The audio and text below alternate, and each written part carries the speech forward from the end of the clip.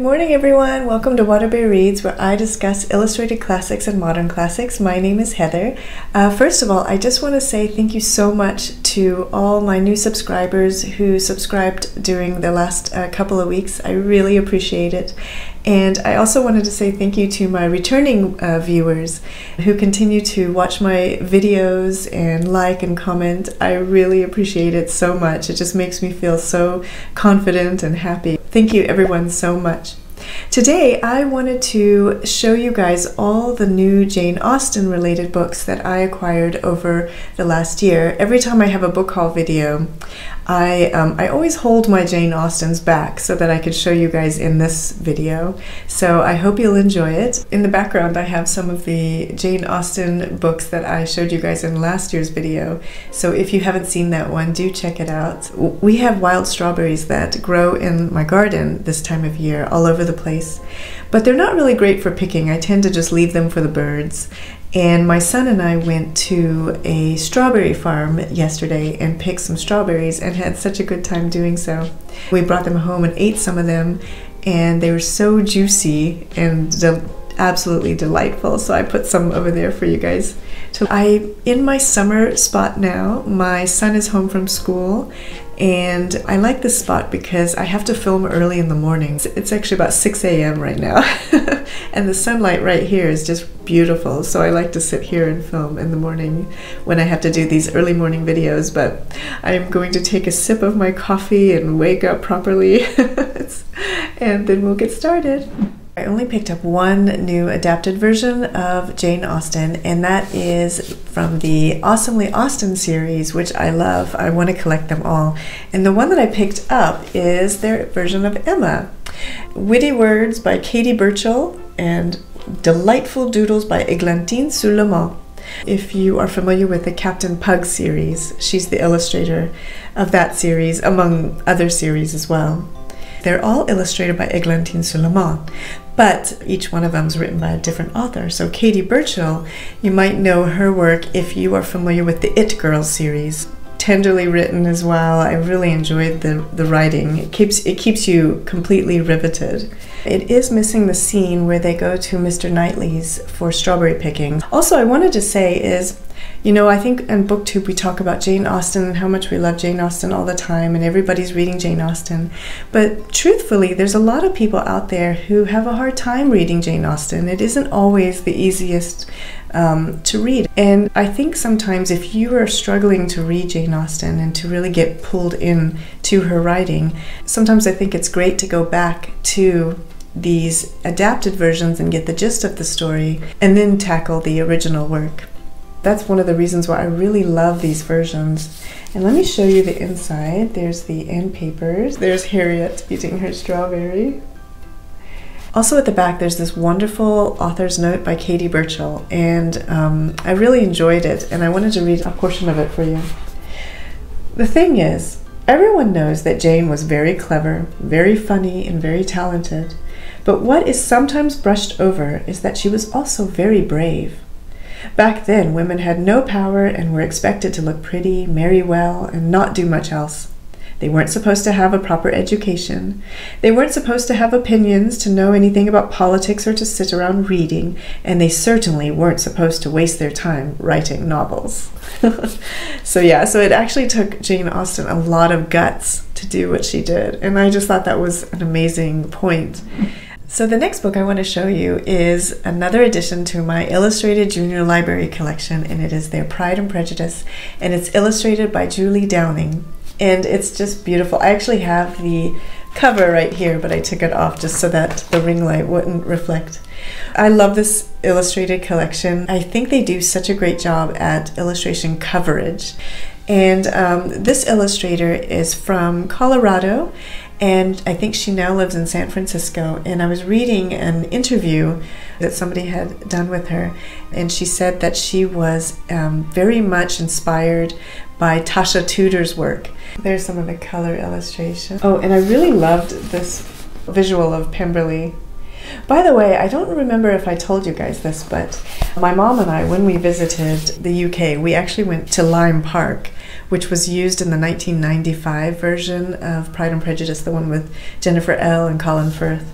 And um, I tried to get that exact same shot that shows in the series um, where she, Elizabeth is approaching with the carriage. I also wanted to tell you guys that if you do visit Lyme Park, before you go anywhere, before you do anything, go to their costume area because they actually allow you to put on period costume and you can just peruse the grounds wearing the costume. It's delightful. Unfortunately, we didn't discover that until just before we were, about to leave. I quickly went ahead and just tried something on just to take some pictures and to feel what it's like to wear period costume, but I wish I had known that when we first got there because I would have loved to have walked around the grounds in period costume. so if you ever do visit Lyme Park, make sure to do that. And I imagine it might be the same for a lot of huge houses that have anything to do with Jane Austen. So do check those out too if you happen to be visiting any of them. Oh, and speaking of period costume, it is a little bit dated. I think it has more of that, you know, sort of 80s look where you know, mustaches were the in thing. The next couple of books I want to show you and chat to you about have to do with early illustrators Hugh Thomson and C.E. Brock. I chatted a bit about Irish illustrator Hugh Thomson in my previous Jane Austen video last year, and I chatted about how he had illustrated that beautiful peacock version of Pride and Prejudice that was published in 1894 by George Allen. They Hugh Thomson had really made a name for himself illustrating Elizabeth Gaskell's Cranford. When Hugh Thomson illustrated Pride and Prejudice, he did three things. He created more illustrations than had ever been done before. I think it was like 160 illustrations. He also was the first illustrator to really capture Jane Austen's humor. And then he also was the one to use the peacock and by using that peacock in his version he associated um, the peacock with pride and prejudice for him the peacock symbolized courtship and vanity and the display of wealth and beauty and all those things really spoke to him. So that's why he chose the peacock as the symbol. And it really took off, not just for Pride and Prejudice, but for Hugh Thomson's identity as well.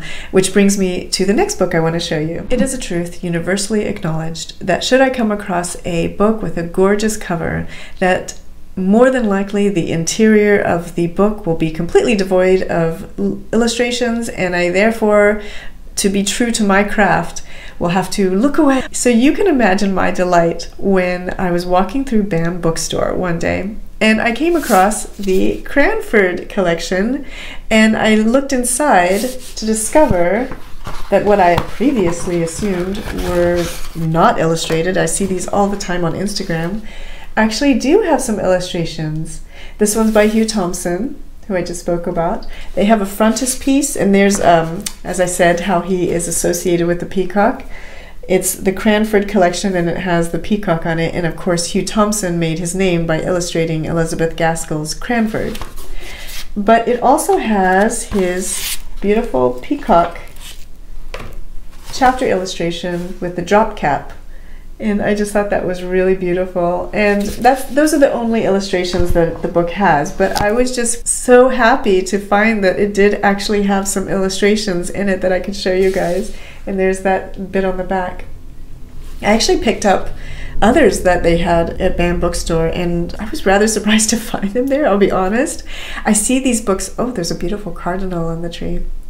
Anyway, I see these books all the time when I'm on Instagram, all over the place, and I just assumed that they were collector's items and difficult to find. So when I saw them at BAM at Books a Million, I was just blown away, and they were for a good price too. The other illustrator that I mentioned that I wanted to chat about holds the distinction of being one of the first two illustrators to illustrate Pride and Prejudice in color. He was joined by his brother Henry, or otherwise known as H.M. Brock, and the two brothers together illustrated the um, six main novels. C.E. Brock had actually illustrated Pride and Prejudice previous to this in black and white line drawings, but new technology came about that allowed for color printing. So in 1898, just three years later, Macmillan approached the two brothers, asking them if they would illustrate the six main Jane Austen novels in color.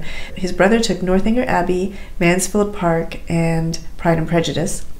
and C.E. Brock took Persuasion, Emma, and Sense and Sensibility. The reason I bring him up specifically is that later on, C.E. Brock or Charles Brock illustrated the full set of the six novels for the Dent English Idylls collection. I think this was 1907 to 1909.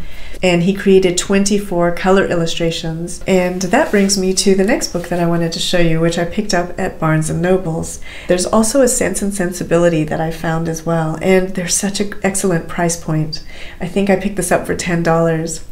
This one holds the illustrations of two illustrators, Hugh Thomson as well as C.E. Brock. I think the cover is very interesting because it has the black and white illustrations to represent Hugh Thomson, and then it has the color illustrations that represent C.E. Brock. And I think it's just a wonderful combination of early illustrators.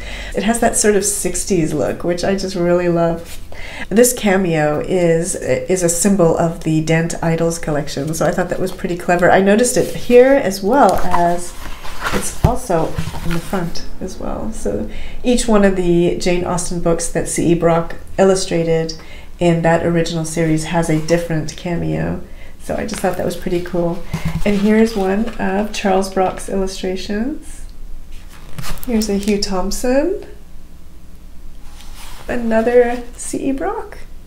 Unfortunately, for whatever reason, it is missing that beautiful peacock that Hugh Thomson has in his version, but it does have a header illustration and it and it does not have all of Hugh Thomson's illustrations in it, but it has the majority of them. I've really been enjoying the PBS Masterpiece series, the Sanditon series. I watch and rewatch the episodes all the time. And I actually looked on PBS Masterpiece website and I found a list of several Sanditons that have been continued because I wanted to find out um, what it was based on. And I found while looking through the PBS Masterpiece website that the first episode of Sanditon is very true to Jane Austen's Sanditon fragment, but the first season is based on the continuation by Kate Riordan. I also noticed that there were other versions of Sanditon. I believe the very first Sanditon was written by Jane Austen's niece, whose name I'm forgetting at the moment. I'll put it out on the screen. Um, that one is quite difficult to find, and I also found out that it was not quite finished from what I read. I'm not sure about that, but I did actually find a version on Internet Archives. So if you want to go on Internet Archives and just put in her name, the one I put on the screen that I can't remember, it comes up and you don't even have to borrow it. It's just there for you to look at if you want. I decided to go with another version. Sanditon, written by Jane Austen and another lady. First of all, I just loved the fact that she just called herself another lady. I thought that was so witty. And I felt like someone who has that sort of wit could probably do a good job of continuing a Jane Austen fragment. I actually had ordered a paperback version with a different cover. I had tried to find one that was illustrated, and I haven't come across one yet, but I'm sure there must be one out there. But I did order a different cover, but it came with this cover. but this one's nice too, I think, so I'll put the one that I ordered on the screen for you. It says Jane Austen's enchanting heroine sets out to snare Regency England's most dashing, eligible bachelor. Superb. I actually want to make my way through all the Sanditons, including Jane Austen's niece, as well as there's another one by, I think her name is Juliet Shapiro, and also, of course, the Kate Riordan one. I suppose I should have looked up what another lady's real name is. If I do find it, I'll put it up on the screen. But um, yeah, so I'm very excited to begin reading this. I'm just finishing um, another book and then I'm going to get started with this one next. I did manage to find an illustrated version of Jane Austen's shorter works in this Folio Society from 1975 and it's really pretty. It did come with a slipcase, just a plain gray slipcase. This one is illustrated by Joan Hassall, who was um, from Notting Hill, London, and she worked primarily in woodcuts. Oddly enough, she also illustrated a version of Elizabeth Gaskell's Cranford. And it's really neat. It has these really cool end papers that have a portrait of Jane Austen and Chawton Cottage, which we also visited when we went to England. I showed you um, snippets from that part of our visit in my last Jane Austen video. And then here are some of her illustrations, which I thought was beautiful. This frontispiece. Here's one from Sanditon that I thought was relevant. You can see that. And then there seems to be one illustration per work. As usual with the Folio Society editions, there's always a very interesting introduction. And this introduction is written by Richard Church. And I thought I would just read a quick little um, portion of it to you. What more do we learn of Jane from this juvenilia? And the piece is called The Watsons, written in 1803, Lady Susan, written in 1805, and Sanditon in 1817, not long before her death. The first discovery is that from the beginning she possessed the gift of storytelling. The juvenilia preserved in the three manuscript volumes dated 1790 to 1793 all create suspense and expectation in the reader's mind, no matter how short the fragments. It is not easy to define this quality. We find it also in drawings or snatches of music thrown aside by a master hand. Here are the shorter works included Lady Susan, Love and Friendship, The Watson, Sanditon, Catherine, um, The History of England. Minor novels are Leslie Castle, Evelyn, Frederick and Elfrida, Jack and Alice, Edgar and Emma, Henry and Eliza, and The Three Sisters. So those are the works included in this version. I really love the Marjolein Bastin series. In my last video, I showed you my Emma. And this year for my birthday, my birthday was back in April. And by the way, I have a major book haul video coming for you. I pulled out the Jane Austen related books from the book haul video, but I still have many, many others to show you. So, anyway, my mom purchased the Pride and Prejudice and gifted it to me for my birthday, and I couldn't be happier. I love reading this way. I love it when you turn the page and you just never know what illustration to expect. So, like, for example, here's an out of the blue an indigo bunting or a beautiful decoration of rose hips and it's just a really fun, relaxing way to read a classic. And I really hope she continues doing more. I keep looking and looking to see if she announces a new one. If I happen to notice one before I put this video out, I'll pop it up on the screen. What I also love about these versions are the extra ephemera that you find throughout the book. In this particular one, there's dance cards, there's a family tree, letters, of course. There's also sheet music. But what I love most about it is there's this biography of Jane Austen's life, and I wanted to read a little bit to you because it includes a little bit about her romantic life as well. And here it goes. In 1801, the unmarried Jane, her parents, and her unmarried sister Cassandra moved to Bath, a town in western England. During one summer vacation, Jane fell in love with a man and began planning their future, but he died shortly thereafter. A year later, family friend Harris Bigg-Wither proposed to her. She accepted the proposal but reversed her decision the next morning. Although uncommon given the time period, Jane never married. So the movie Wicked is coming out in the autumn, and it put me in mind that I've never read Wicked. And I started thinking about that, and I want to definitely pick up Wicked a little closer to the fall and read Wicked. It also had me thinking of another book that um, it feels like everyone in the universe has read, but I still haven't read, and that's Pride and Prejudice and Zombies.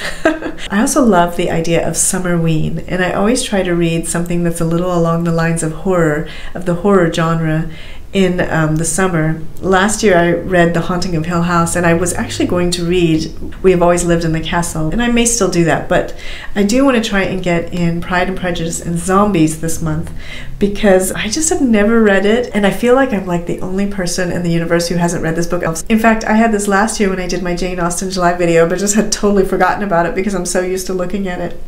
And I hadn't realized until I picked it up about a month ago or so that it's actually illustrated, illustrated by Philip Sidney, and the illustrations are really cool. At about the same time, my sister sends me a message and she says, Do you know that Sense and Sensibility and Sea Monsters is illustrated? Which is illustrated by a different illustrator, Eugene um, Smith, I believe. Eugene, yeah, Eugene Smith. And let me show you an illustration. Here's a good one. I'll probably wait for Sense and Sensibility and Sea Monsters to perhaps next year, but I thought it might be fun to go ahead and read Pride and Prejudice and Zombies. I've seen the movie and I loved it. I love the actors in that movie. So I just thought I would make that sort of a combo Summerween and Jane Austen July read. Pride and Prejudice and Zombies. Gosh, I really hope you can't hear my stomach rumbling. I haven't had breakfast yet. For my birthday, my husband and my son gave me the most generous Folio Society gift card, and I purchased four books with it because I waited for the Folio Society to send me my birthday discount. They send you a birthday discount if you subscribe. I bought four books, and I'm saving two of them to show you in my actual book haul video when I do my birthday book haul, my eventual birthday book haul video. And so I'll show them to you then. But I did get two Jane Austen titles, so I wanted to show those to you. There's a twin sister illustrator team, the Balbusso twins, and I just love their work so much. And it is such an experience to read a classic using their illustrations in March, I was looking for something, you know, green. I was thinking green, and I wanted to do something green for St. Patty's Day. And I was re and I thought, hmm, what's green that I could read? So I ended up pulling out The Great Gatsby, and this is the first time I've ever read The Great Gatsby since high school. And I read it this way, using this version by the Balbusso twins. And it was such an experience. I am totally in love with this novel, and it was and so enhanced by their illustrations. It was just beautiful. So I had the Balbusso twins in my mind already, and I was thinking I really need to get their version of Pride and Prejudice, and so I had decided to do that. And I'm so happy to have this version. It's so beautiful, and of course, it comes with a slipcase. It is a truth universally acknowledged that a single man in possession of a good fortune must be in want of a wife. I love their illustrations. I've, I've chatted about them before on this channel when I showed you Sisters in Science.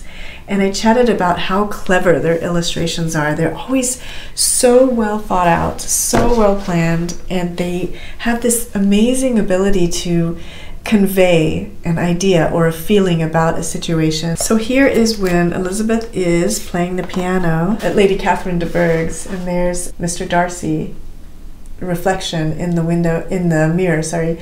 And then there's all those the shadows of everyone else that's in the room with them around them. But it's only those two that matter. And i just thought that was so beautiful and so amazing. Here's another one where um, elizabeth is reading mr darcy's letter and i love how the swirls are put in to show sort of the mixed emotions that she's feeling at that moment when Elizabeth is looking at Mr. Darcy's portrait. As I said before, Folio Society does the most wonderful introductions.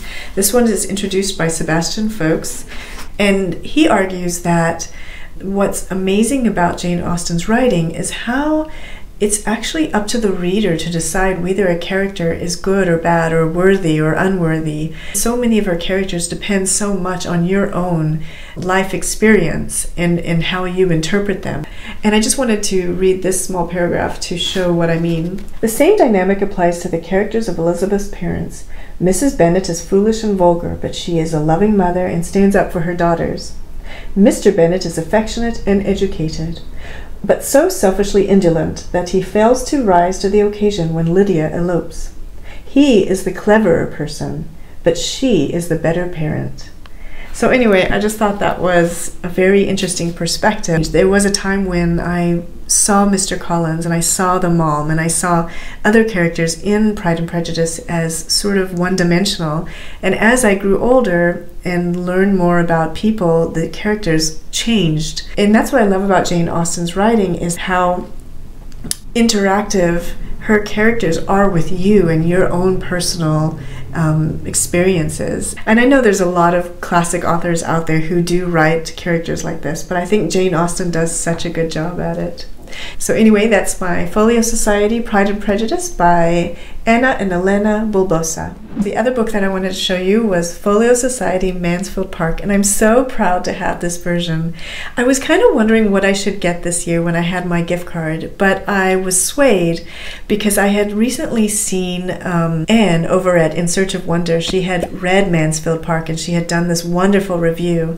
And I had listened to it and I was reminded of all the reasons why I loved Mansfield Park. And I read this a long time ago. I think it was, it's, gosh, it's got to be over 15 years ago since I've read Mansfield Park. When I read the other Jane Austen books, I find them entertaining and, and cozy and fun and enjoyable. But Mansfield Park just kind of really stuck with me. I read not long ago somewhere, I don't remember where, where one of her critics said that she just had no range. All she could write about was women's issues and society and just fun, fluffy stuff.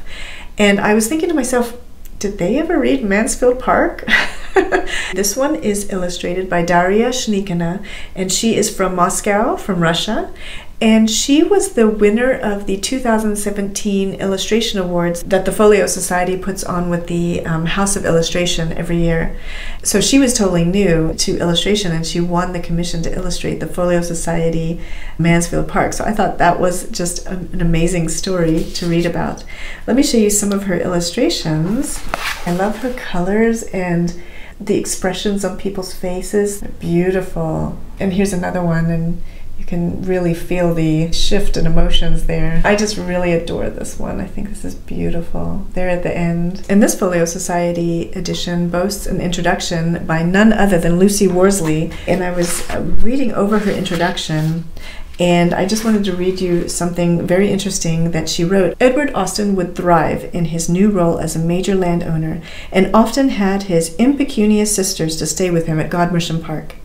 But there, like Fanny, Jane Austen could not help feeling like the poor relation. If it hadn't been for his generosity, claimed his snobbish daughter, Jane and her sister Cassandra would have been, though not less clever and agreeable in themselves, very much below par as to good society and its ways. It's a sentence that could have been written by Fanny Price's ever critical aunt, Mrs. Norris. Mansfield Park has a lot of Jane Austen's experiences. Her younger brother Edward was sent to wealthy relations and raised with wealthy relations and then eventually inherited. And when Jane Austen and her sister Cassandra would come visit, she had that same experience. She was looked down upon and thought of as the poor relations. And so she kind of had that same experience that Fanny Price had. And I also wanted to quickly read another little portion that she had written that goes back to where I was talking about Mansfield Park. The estate of Mansfield Park is both good and rotten at the same time, and the characters respond to the great question of the age slavery, religion, wealth, right, wrong. This novel could have read Reform or Ruin as its motto.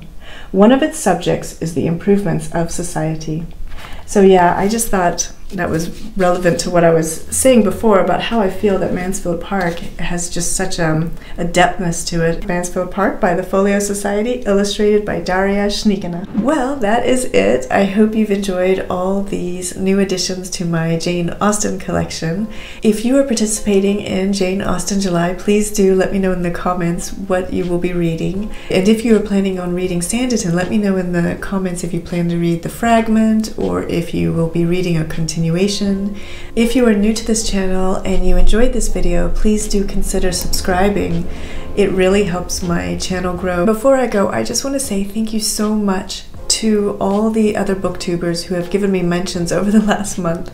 Katja over at Page Turners with Katja, uh, Deea over at Novel Idea, and uh, Jen at Jen's Reading Life. Thank you so much. I also want to especially thank Celeste over at A Reader's Almanac and Anne at In Search of Wonder for highlighting some of my videos. I really appreciate it. But to all my viewers, thank you so much.